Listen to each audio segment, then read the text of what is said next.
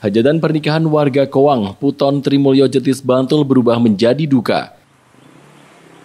Lima orang kerabat pengantin yang membantu mempersiapkan hajatan harus dilarikan ke rumah sakit usai menenggak minuman keras oplosan.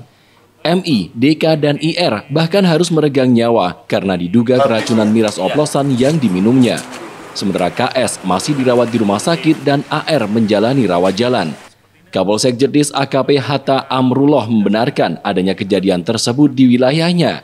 Namun untuk penyebab pasti kematian korban masih dalam proses penyelidikan. Saat ini polisi masih memeriksa sejumlah saksi termasuk BBN yang sempat diduga sebagai penjual miras. Dua korban MI dan DK meninggal pada Sabtu lalu dan sudah dikebumikan minggu siang kemarin.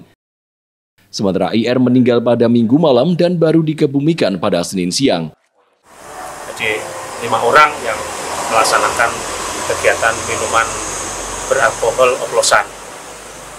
Yang meninggal berapa orang? Yang meninggal saat ini tiga, tiga orang, yaitu atas nama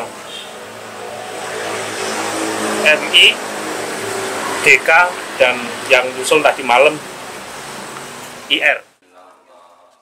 Anang Zainuddin, Jogja TV.